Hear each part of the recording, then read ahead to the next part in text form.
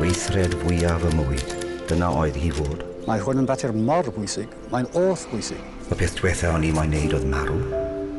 Byw o'n i moyn neud. Gwynor Evans oedd y dylanwad mwyaf o safbwynt cenedlaetholdeb Cymraeg yn yr 20fed ganrif.